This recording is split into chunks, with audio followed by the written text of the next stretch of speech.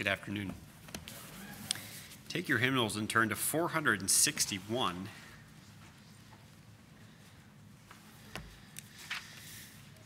Four hundred sixty-one. I will sing the wonder story.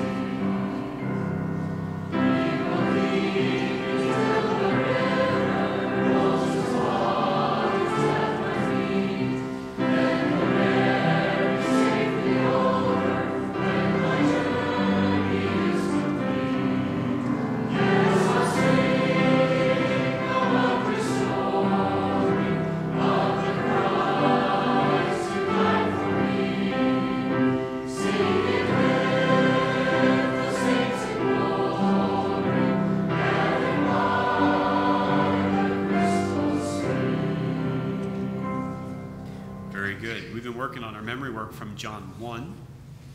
We're going to say verses 1 through 6 together this afternoon. John 1, 1 through 6. In the beginning was the Word, and the Word was with God, and the Word was God. The same was in the beginning with God. All things were made by him, and without him was not anything made that was made. In him was life, and the life was the light and the light shineth in darkness, and the darkness comprehended it not. There was a man sent from God, whose name was John. Same for witness, to bear witness of the light, that all men through him might believe. That was through verse 7, but very good. Let's work on through 9. So verse 8 and 9 kind of tie into that. He was not that light, but was sent to bear witness of that light.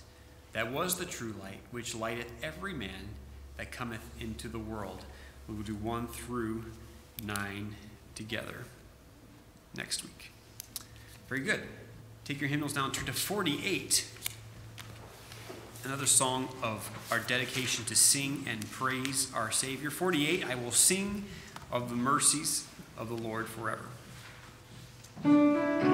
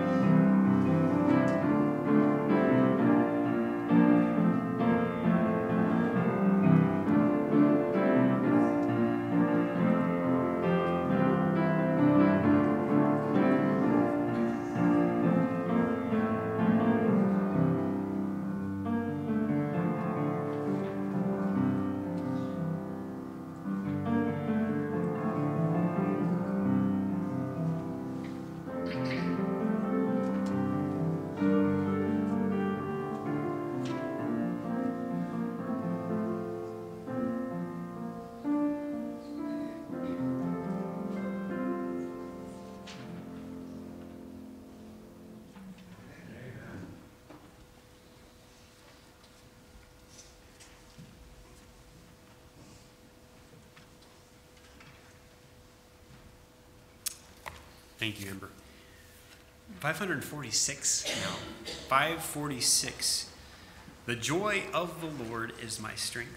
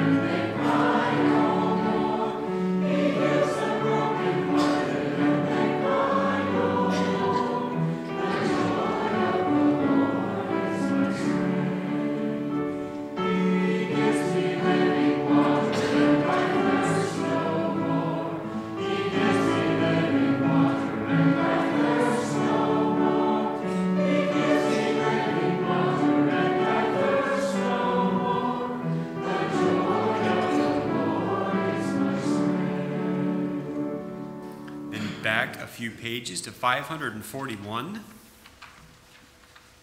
like you to go ahead and stand with me to sing this one, 541. And on that last chorus, our young people can be dismissed to Sunday school as normal. 541, He Keeps Me Singing.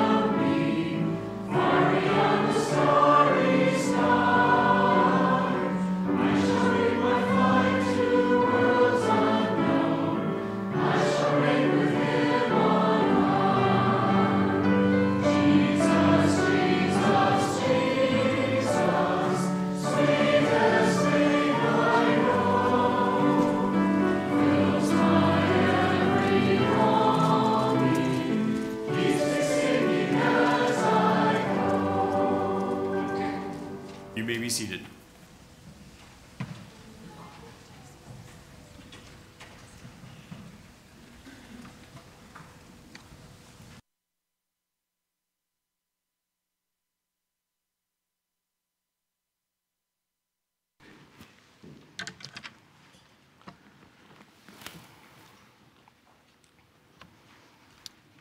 Good afternoon.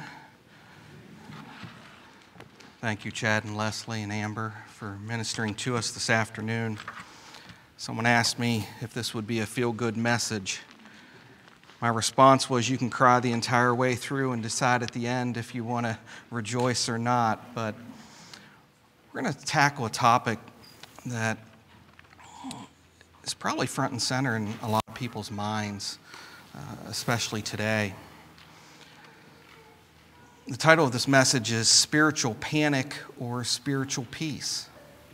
And if you watch the news, you listen to the radio, there's a lot of information that comes out that can be unsettling. You talk to lost people, and many of them are very worried. You talk to some Christians, and there's concern about what's going on, whether it be in China, Iran, or wherever the case may be. And I want us to turn our attention to Exodus chapter 14. We read this uh, a number of weeks back in our Bible reading. And we're going to spend our time this afternoon in Exodus chapter 14. We're actually going to start in chapter 13, Exodus chapter 13, verse 17. We're going to start there just to give us some context. Exodus chapter 13, verse 17. And this is where we will start. And it came to pass when Pharaoh had left the, let the people go, that God led them not through the way of the land of the Philistines, although that was near. For God said, Lest peradventure the people repent when they see war, and they return to Egypt. But God led the people about through the way of the wilderness of the Red Sea. And the children of Israel went up harnessed out of the land of Egypt. And Moses took the bones of Joseph with him, for he had straitly sworn the children of Israel, saying, God will surely visit you, and ye shall carry up my bones away hence with you. And they took their journey from Succoth and encamped in Etham in the edge of the wilderness. And the Lord went before them by day in a pillar of a cloud to lead them the way, and by night in a pillar of fire to give them light, to go by day and night. He took not away the pillar of the cloud by day, nor the pillar of fire by night from before the people. And the Lord spake unto Moses, saying, Speak unto the children of Israel, that they turn and encamp before Pihahiroth, between Migdol and the sea, over against Baalzephon. Before it shall ye encamp by the sea. And Pharaoh will say of the children of Israel, They are entangled in the land. The wilderness hath shut them in. And I will harden Pharaoh's heart, and he shall follow after them and I will be honored upon Pharaoh and upon all his host, that the Egyptians may know that I am the Lord. And they did so. And it was told the king of Egypt that the people fled, and the heart of Pharaoh and of his servants was turned against the people. And they said, Why have we done this? Why have we let Israel go from serving us? And he made ready his chariot and took his people with him. And he took 600 chosen chariots and all the chariots of Egypt and captains over every one of them. And the Lord hardened the heart of Pharaoh, king of Egypt, and he pursued after the children of Israel. And the ch- children of Israel went out with a high hand.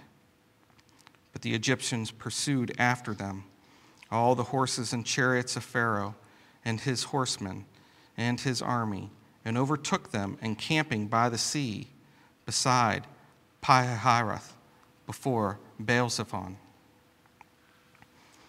After being released by Pharaoh, the children of Israel, they're being led out by the Lord out of the land of Egypt.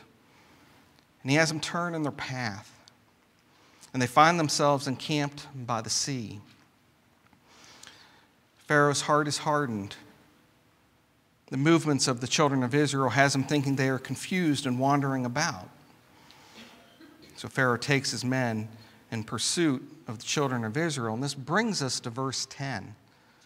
And we're going to focus here on the next five verses. But starting in verse 10, it says, And when Pharaoh drew nigh, the children of Israel lifted up their eyes, and behold, the Egyptians marched after them, and they were sore afraid. And the children of Israel cried out unto the Lord. And they said unto Moses, Because there were no graves in Egypt, hast thou taken us away to die in the wilderness? Wherefore hast thou dealt thus with us, to carry us forth out of Egypt? Is not this the word that we did tell thee in Egypt, saying, Let us alone, that we may serve the Egyptians? For it had been better for us to serve the Egyptians than that we should die in the wilderness. They were sore afraid. They lifted up their eyes and they started looking around. And they were looking at their circumstances. And they became fearful. They had just been delivered from slavery by the miraculous acts of God. And here they are with the Red Sea before them, a vicious foe behind them, and they think they have nowhere to turn. They believed the situation they found themselves was dire. And rather than being driven by the awe of God, terror, fright, and horror gripped them. Their words and actions were no longer controlled by a fear of God, but a fear of what they saw. It was controlled by panic and anxiety. They lashed out at Moses and they blamed God, sarcastically asking if there were not enough graves in Egypt. Their thoughts now clouded with doubt, they suggested they would have been better off staying in slavery to the Egyptians. This, despite just having been delivered out of Pharaoh's hand by God's grace. Their hearts turned to rebellion. Panic is defined as sudden, uncontrollable fear or anxiety, often causing wildly unthinking behavior. Thoughts of anger, bitterness, dismay, apprehension, hastiness, and despair are all common for those who panic. Spiritual panic is the powerful emotion caused by the upsetting of our desired circumstances that leads to sinful assessments, sinful attitudes, and sinful actions, resulting in devastating consequences. Spiritual panic attacks the character of God because it questions his sovereignty. It questions his faithfulness. It forgets and distorts our memories of the past, casts doubts on the future, and focuses on one particular aspect of the present, while often isolating those gripped by it from reality. Spiritual panic can be subtle, muted, or it can be loud and emphatic. We oftentimes think of panic as external hysterics, but that's not always the case. It can manifest itself in thoughts of doubt that sow discord in the soul. But it still comes down to a heart that is turned against an almighty God. It leads us to compromising biblical principles as we grasp for something to right the situation we find ourselves in, doing things or allowing things we would never have chosen in the past.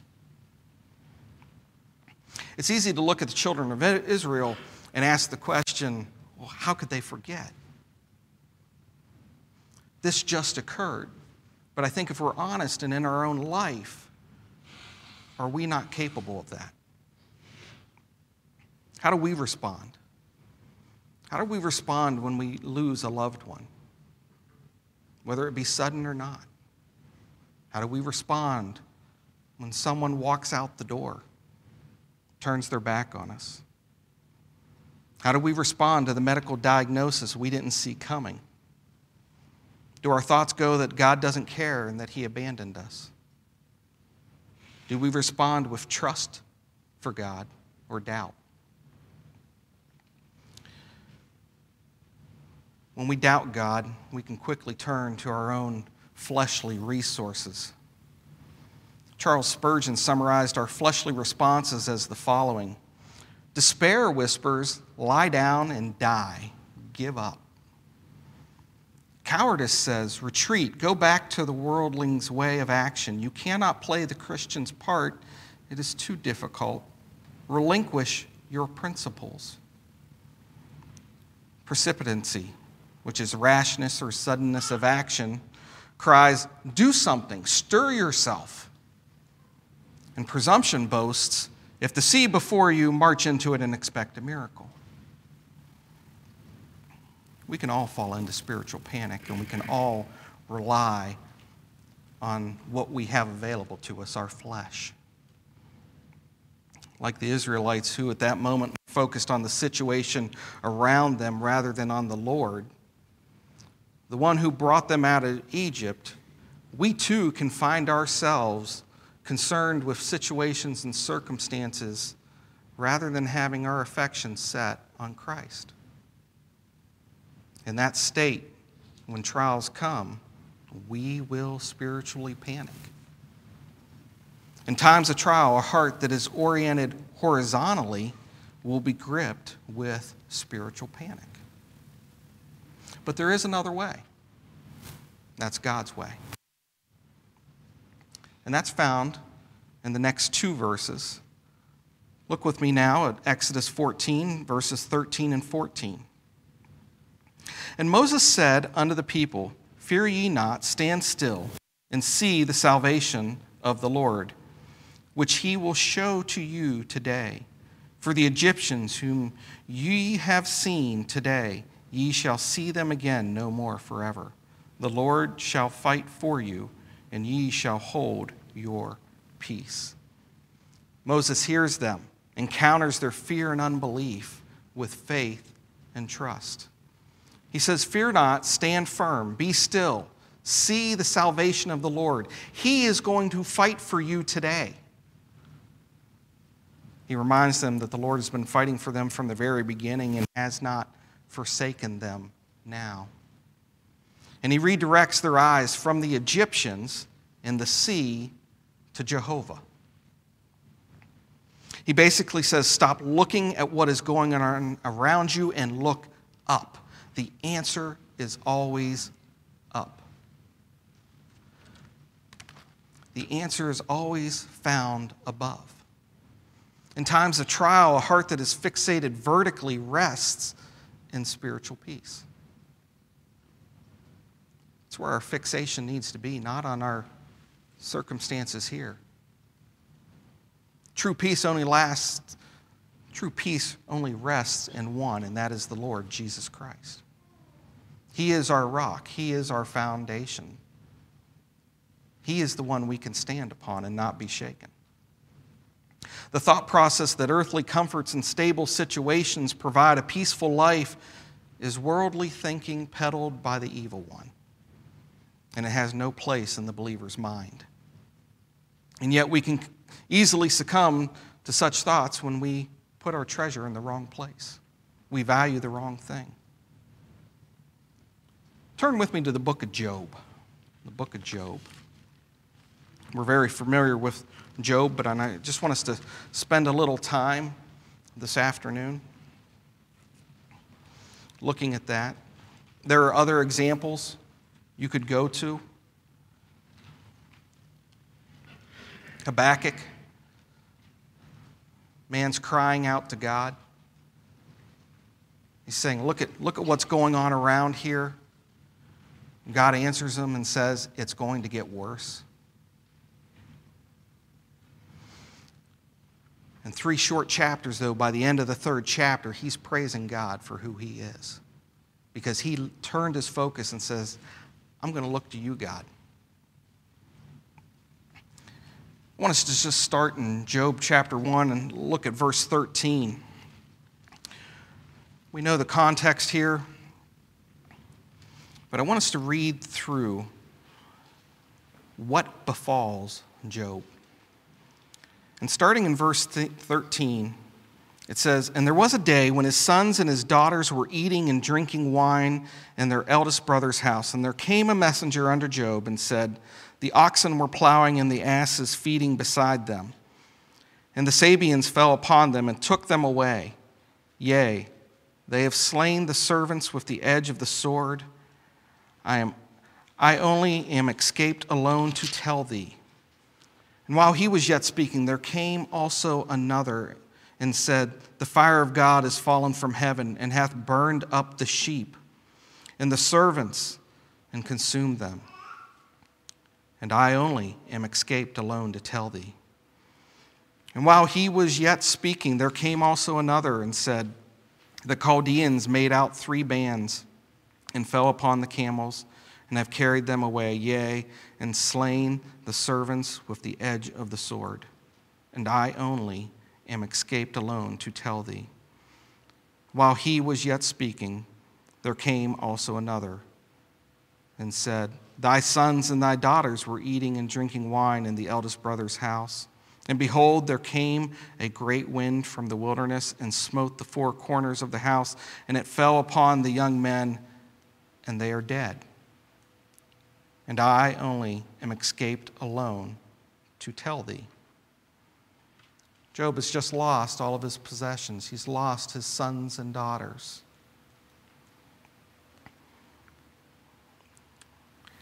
We continue on in verse 20, and it says Then Job arose and rent his mantle, mantle and shaved his head, and fell down upon the ground and worshiped, and said, Naked came I out of my mother's womb, and naked I shall return thither. The Lord gave, and the Lord hath taken away. Blessed be the name of the Lord. And all this Job sinned not, nor charged God foolishly. Job's response, on one hand, is one of grief and sorrow. Cropping of hair and tearing of one's outer garment were common gestures of violent grief back in biblical times. Weeping and wailing were common acts associated with grief as well. And let us not think that Job didn't weep. I think Job cried. I think Job wept, perhaps uncontrollably. But in that, he also did something else, and he worshiped and praised God. Despite his loss, Job wasn't consumed with bitterness or anger. He didn't fall apart. Spiritual panic was not allowed to set into his life. He looked to God and says, Blessed be the name of the Lord. We go on and pick up again in verse or chapter 2 verse 1 it says again there was a day when the sons of God came to present themselves before the Lord and Satan came also among them to present himself before the Lord.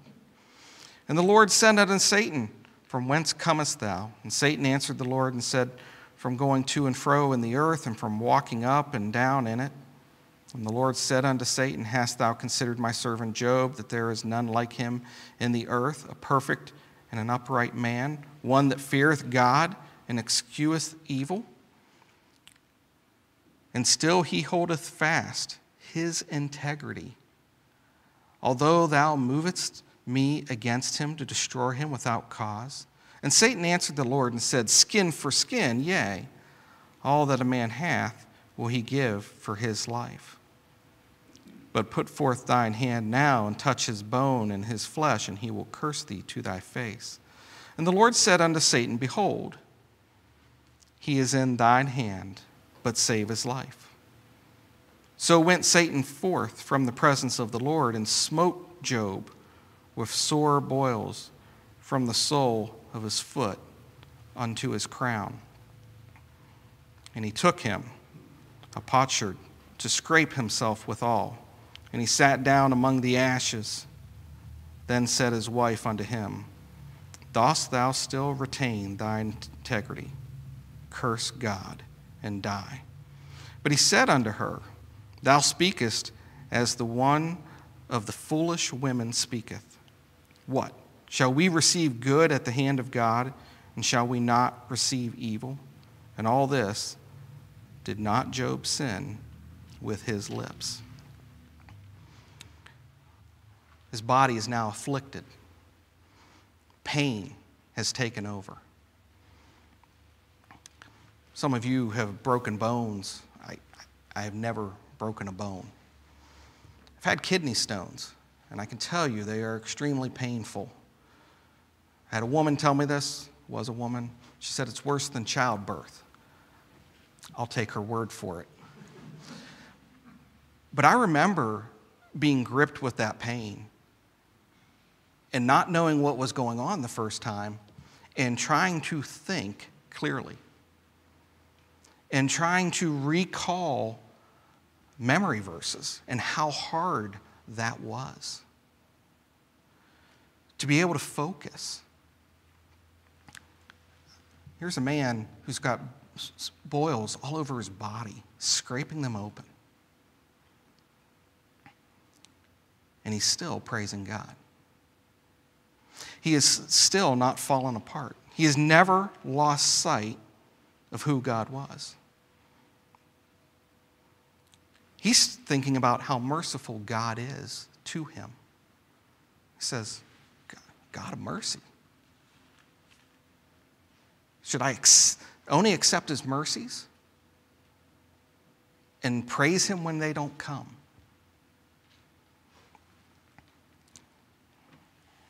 What goes through our minds when physical suffering comes? Job's not panicking. He's turning to his refuge, his fortress. Patience and faithfulness are coming forth from his character, and he's choosing to exalt God. A soul resting in spiritual peace is going to do three things.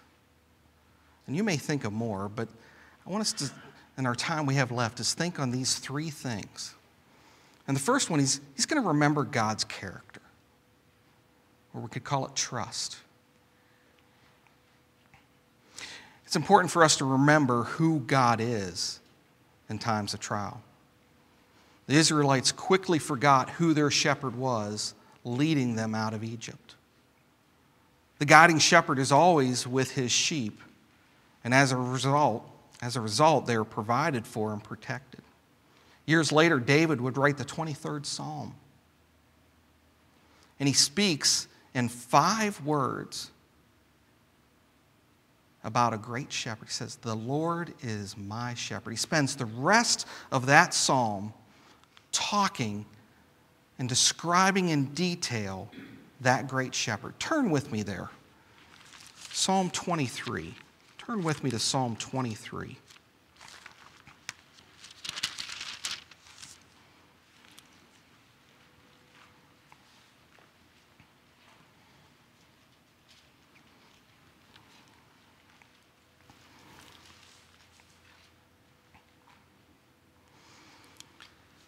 The Lord is my shepherd, I shall not want.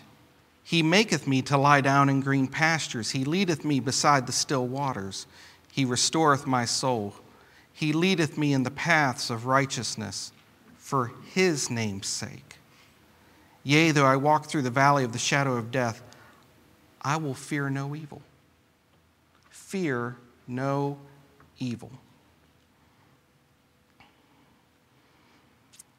Though we walk through turbulent times, we never are alone. Our shepherd is with us at all times. A believer can trust in knowing that God is guiding us on our pilgrimage here. He's providing and protecting for us daily. The shepherd provides everything the believer needs, and we will dwell with him forever. Now, does that mean we have insight into everything the Lord is doing? Well, no. Joseph is a great example of that. We don't. And there are valleys that are there for our benefit and God's glory, but if we're honest, we would not naturally choose to go through them if we knew what they were.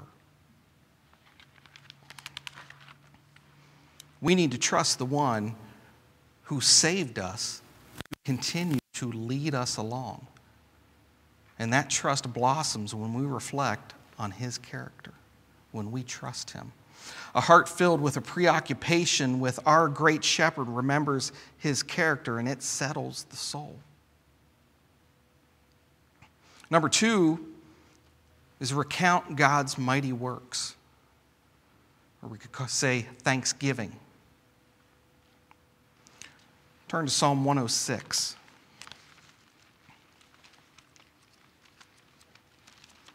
Psalm 106.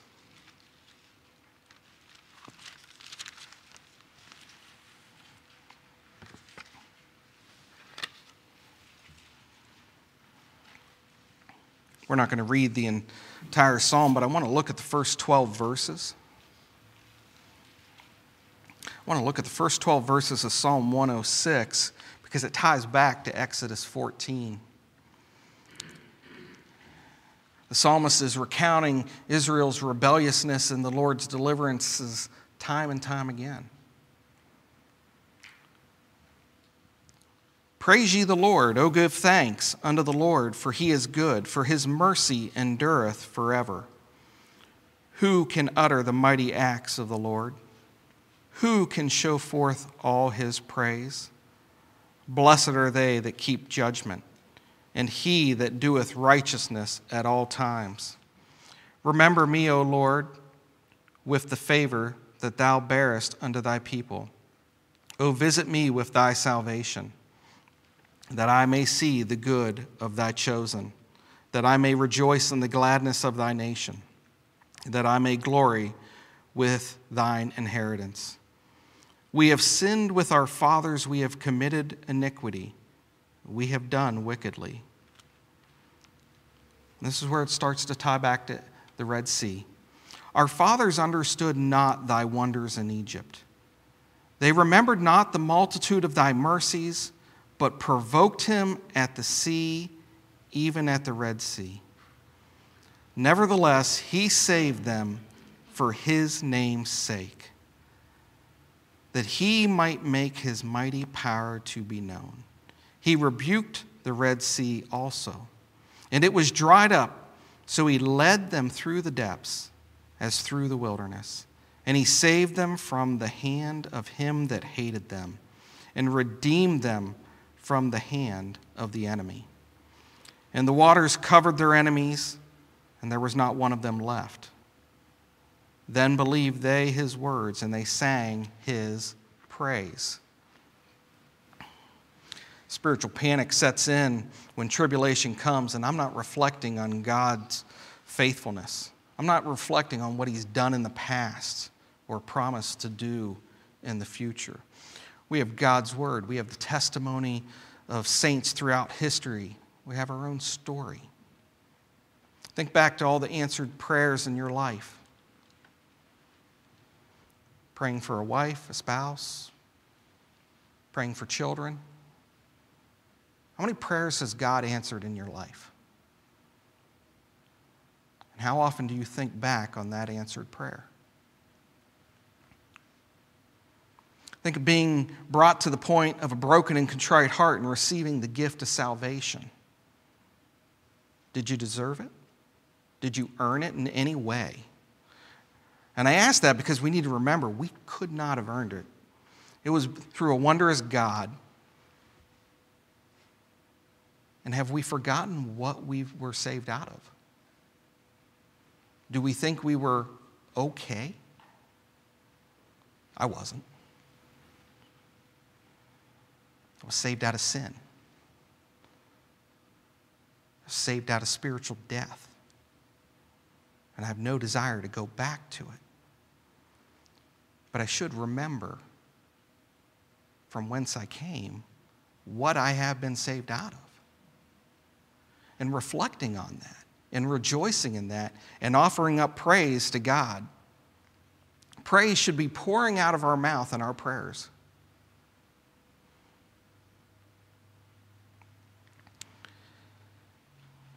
We can't rest in God if we choose not to recount what He has done because it will be a what have you done for me right now? What are you doing for me at this moment? A heart filled with a preoccupation with the Lord above recounts his mighty works, and it calms the soul. It calms the soul.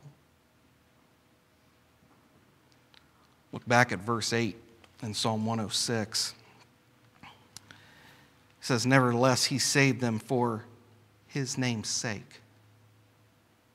Psalm 23 talks in verse 3, he talks about he's leading us, the still waters, the green pastures, for his name's sake.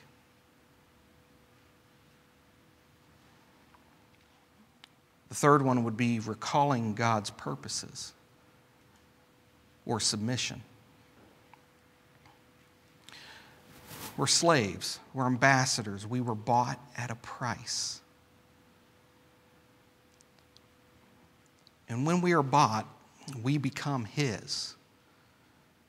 And a slave is not concerned about his own interest, a slave is concerned about the master's. That needs to be my focus. Matthew 6, verses 9 and 10 says, After this manner, therefore, pray ye, Our Father which art in heaven, hallowed be thy name. Thy kingdom come, thy will be done in earth as it is in heaven. Spiritual panic is a result of a heart that values something else more than God. Spiritual panic is the result that has foregone his purposes in lieu of their own. It can't be about me, it has to be about him. I need to see things like that. I need to see things as he sees them and not how I see them. A lack of submission to God's rule in my life is going to lead me to spiritual panic because I'm going to be looking around at what's going on here and not up there. When we are consumed with our own interests, wants, and desires, and those become threatened, that's when the anxiety and worry starts. It takes hold of us. But doing the will of the Father brings us to peace. A heart filled with a preoccupation with the Lord above recalls his purposes satisfying the soul. It has to be about him. It can't be about me. We need to recall God's purposes. We need to recount his mighty works. We need to remember his character. Remember who God is, his faithfulness. The reality is, every one of us is going to be confronted with a Red Sea in our life. Some of you already have, some of you have been through multiple ones. Some of us have more to go through. And there's a refinement that goes on in these. But there is a way forward.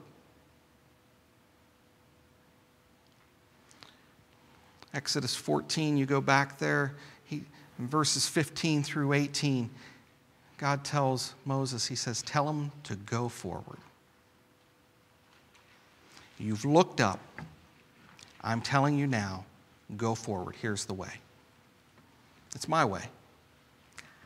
I am going to do this. We will never see the way forward if we're not gazing at Christ, though. And until we do, we're going to wander in a wilderness of spiritual panic filled with anxiety and worry, restlessness, doubt, and bitterness. And that's not what God has for us. It's not what God intended for us. Spiritual peace resides in the sanctuary of God. Turn with me to Isaiah 41. Isaiah 41. Just a few more verses as we finish up this afternoon. Isaiah 41, verse 10.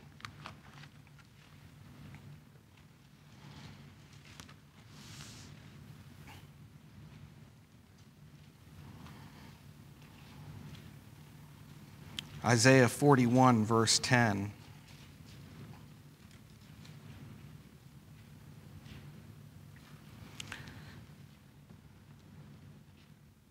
Isaiah 41, verse 10 says, Fear thou not, for I am with thee. Be not dismayed, for I am thy God. I will strengthen thee, yea, I will help thee, yea, I will uphold thee with the right hand of my righteousness. We're going to encounter difficult situations. We can turn to prayer. We should be surrounding ourselves with prayer in these circumstances. We need to be running to our Savior at all times. We've got to stop looking around. We look at others, we look at what's going on in different parts of the world, we look at what's on the television, we hear what's on the news. None of it settles the soul. But I can open up God's Word each and every morning and throughout the day, and I can be settled. I can go to the Lord in prayer cast all my cares on him, and be settled.